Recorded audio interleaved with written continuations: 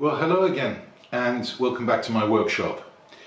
This video is a bit of a departure. This is a video about showing how YouTube can actually really help you gain confidence. Uh, to do things that you didn't think you could do and not just YouTube but certain creators on YouTube. And the first thing I want to do is to introduce you to a new uh, addition to my workshop, one that I feel uh, very proud of and I'm really excited about using. And the reason I'm making this video is because when it came to me, when I bought it, um, and I managed to get it for ridiculously little money, it was in need of some love and attention. And rather typical of me, I decided, well, I can't do this. It's beyond me. I've, I've, I've never felt confident to, to tackle my lathe or my milling machine in terms of the mechanics, in terms of servicing it or any of that. And I think a lot of people out there are like me. They think, well, okay, that's beyond me. I can make a knife or I can make a piece of uh, tooling or, or something, but when it comes to the machines, ah, you know, I can't do that. And so I was going to leave it and just give it a, a, a quick clean and etc. And then my, my dear friend uh, Dimitris Polychronis, who is the creator of Jimmy's Canal, um, said to me, it's okay, I'll help you, I'll talk you through it, I'll, I'll show you what to do. And why not do it? Why not just, you know, push your comfort zone a little bit? And um, so I did. And so you're going to miss the beginning part of it because I really uh, was so kind of anxious and stressed about doing it all um, that I didn't video it, but I, I, decided actually what he did for me and what I hope these videos will do for you too in a, in a, in a, in a slightly different way is to give you the confidence to actually just challenge yourself, do it, take it, take it on, you know, have a go. And so let me show you what the task at hand is. And again, don't forget, please, if you like this video the concept of my channel, please subscribe, please like, please dislike if you want, uh, leave comments. Um, but I love hearing from you and there's nothing I like better than interacting with, with my subscribers and my viewers. So let's carry on now. So here it is. This is my new toy. It's a probably 1950s or 1960s pillar drill or post drill. Um, it was advertised at, uh, in the auction that I bought it from as a uh, Meddings British made pillar drill um, but it's not clearly it's got it doesn't look anything like a Meddings drill. And um, I actually thought it was a Fobco which is another very fine uh, drill. Um, but it's not that either because when I started cleaning it up I noticed that I mean this was under a, a mire of grease. Um, it's made by a company called JGH and by the way this is another reason for this video is if anybody out there knows anything about these the, these drills or this company, I would love to know because I've not been able to find anything about it online. And I've posted on a couple of forums and nobody can help me. So it's made by a company called JGH. It's possible that it's a, a kind of rebranding of a Fobco or something else. But it's a beautifully made machine. I mean, the, it, it's a, a cast uh, iron machine. It's, it's it's beautifully made, everything's solid, it's got oilers everywhere, um, it's smooth as anything, and I mean, I'm still in the process of, of cleaning it all up. Um, as you can see, there are bits missing, which I'm going to show you in a minute. Um, so this has a particular thing which I really like, which I'm going to explain to you next. So you see that on the pulley here, there is this extra geared wheel which is independent and turns by itself until you engage it by pushing this pin down. Of course, with single-handedly, it's going to be difficult to there. And that, as you can see, must engage something. And what it engages is this very impressive piece. Um, this is going to go back up there. The top of the spindle um, has a bearing that goes in here and this has an eccentric wheel as you can I don't know if you can see that it moves in and out and that will engage with that top wheel now I did a lot of research about this and I really wasn't at all confident about what it was but what it appears to be is that it enables you to, when you engage this wheel, which you can engage or disengage, is that will permit you to add massive torque at low speed. So either you can then use a very, very big drill bit into some very serious steel at slow um, revolutions, or indeed you can use it to tap um, uh, steel using the, the drill press. So I've cleaned this up, that's going to go back in and um, I'm going to show you the other bits and pieces which, which I've now cleaned, which you can probably already see in the background.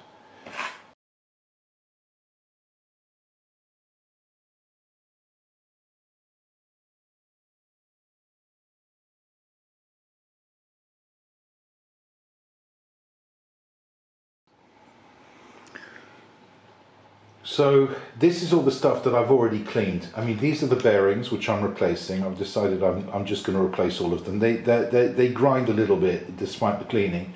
So why not? I've done it. So um, let's replace the bearings.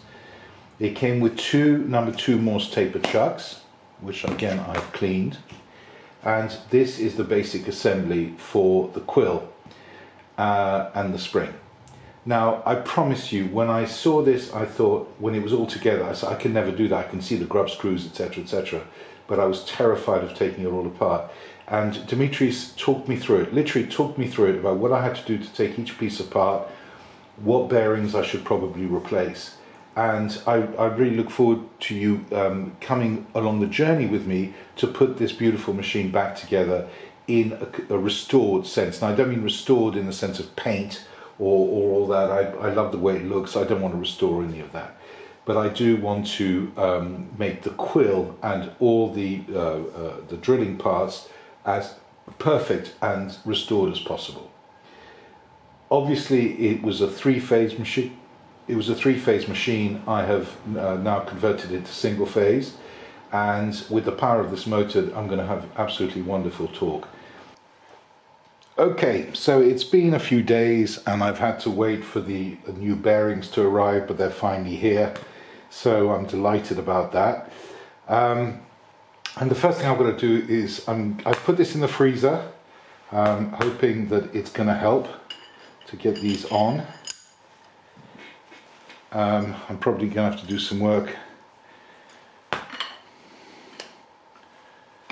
particularly like to do it this way. I'm careful, I should get away with it.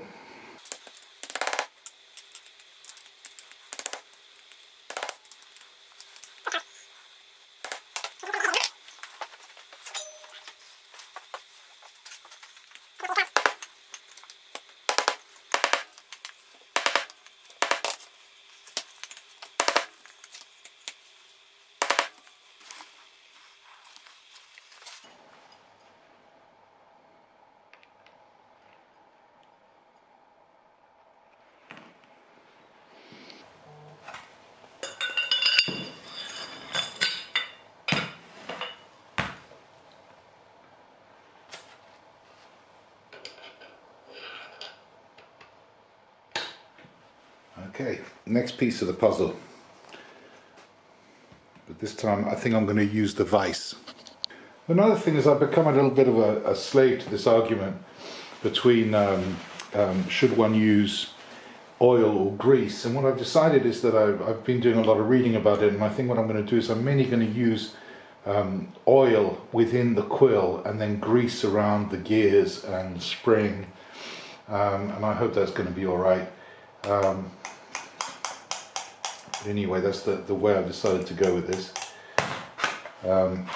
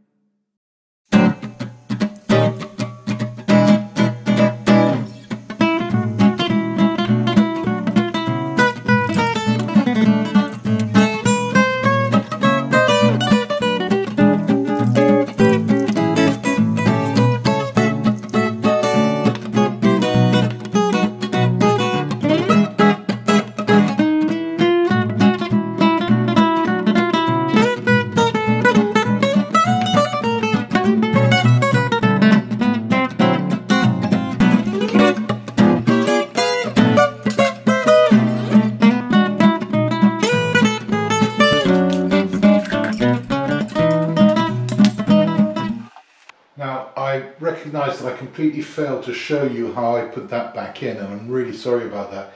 My camera died and then um, I forgot to film because I was so involved in doing it. And the trick is that actually you can assemble the spring back onto the, the, the arbor here um, before you put it in. So what you do is when you've got the spring out, coil the spring, put it back inside this. You'll see it's a case that the spring goes back into and there's a notch that goes into the slit in the arbor that operates the quill. Um, oil it, put the arbor into the spring, then push the whole thing back in, find so that it engages the worm screw, and then you're in. Okay, and then this thing, before you tighten this grub screw, this fits a spanner. Um, ideally one a bit smaller than the one I was using. Actually, this is the wrong spanner even. Um, anyway, it's a spanner.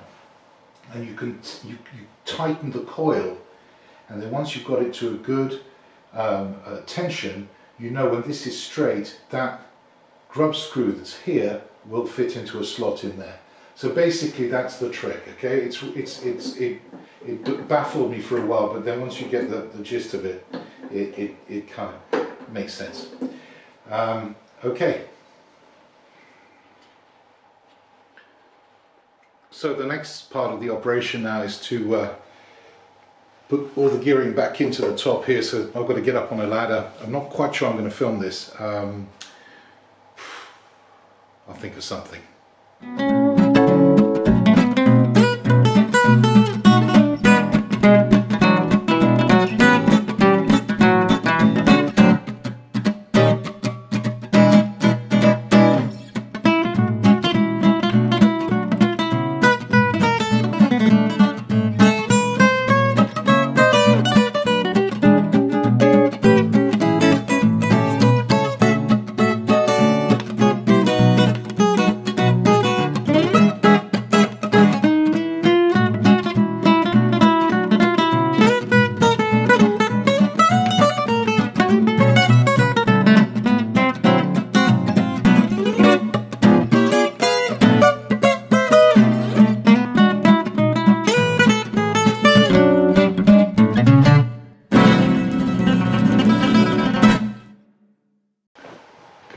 Belt is on. The belt is now tight.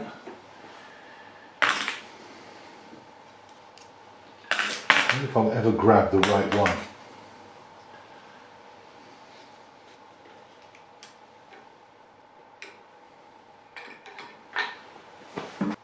Okay, this is the moment of truth.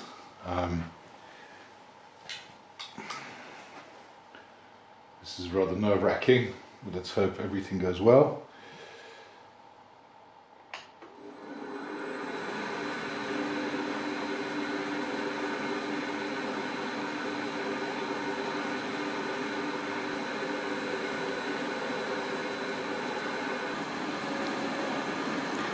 And I'll tell you one big difference from before I did this. It's far quieter than it was before. It was quite noisy the first time I tried it.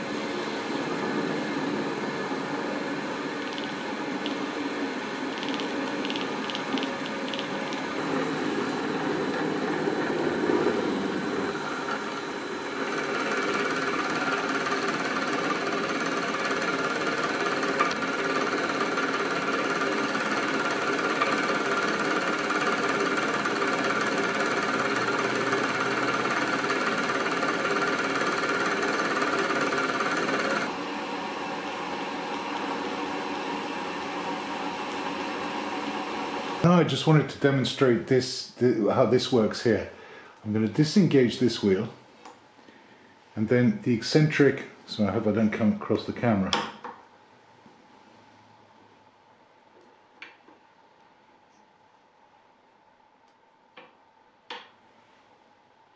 Okay, so now if I start it again,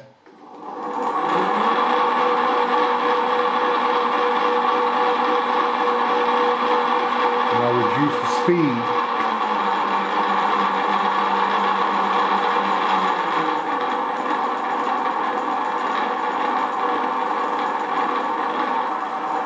I've got extraordinary torque of the chuck, even at very, very low speed.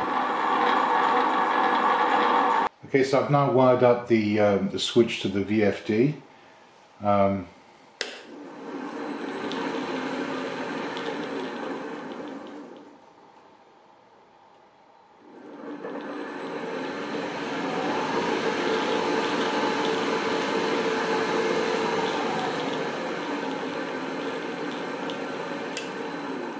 three seconds slow down and reverse.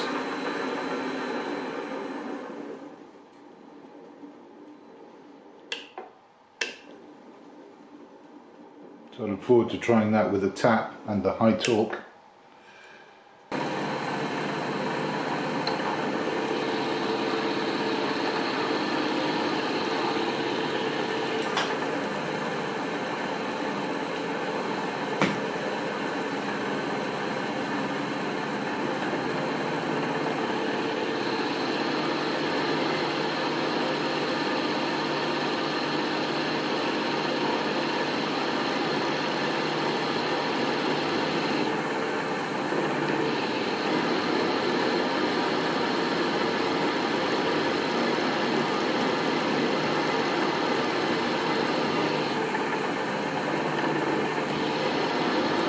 decided to use a pretty thick piece of steel to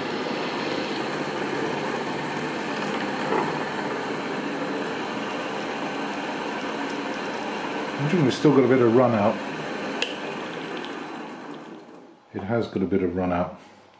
So I will investigate that. So now I've changed the bit to a 10 and a half mil. I just want to see how powerful this thing is.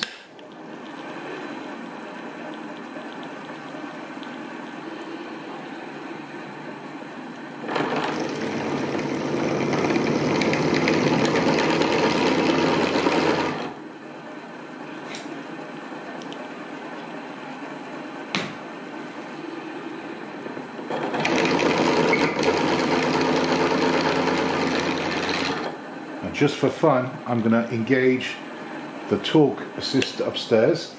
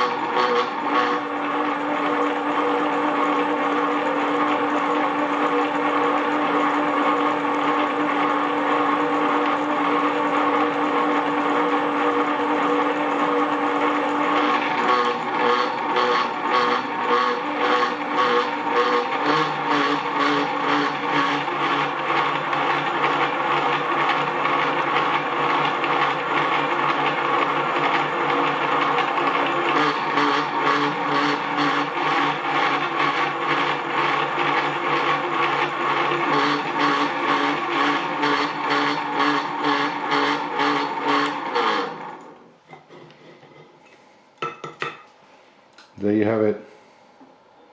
I'm pretty happy with that. So there you have it. Um, really the purpose of this video obviously was to show off my new machine a little bit, but also to show that with a bit of help, you really can take on things that you never thought you could take on. And I'm not kidding, I would never have touched this without the help of Dimitris. And I know there are loads of other YouTube creators out there who are so generous and so kind and willing to help. And there's another person I need to uh, mention actually, which is um, Costas, who is an electrical engineer and one of Dimitris's best friends, who helped me a lot with the electrics on this. And um, I have changed things from three phase to, to single phase, but that was a long time ago. Anyway, it's just to show that don't be afraid to ask for help. Um, I hope this encourages you to take on stuff, and there are people out there who will help you. There are many, many. So I hope you enjoyed it and obviously there's still lots of work I need to do on this cleaning other bits and pieces but I've done the, the, the, the big part. Anyway, thanks again for watching. I know there was a lot of talking and it's a bit slow and I hope you still enjoyed it. And if you like it, please like.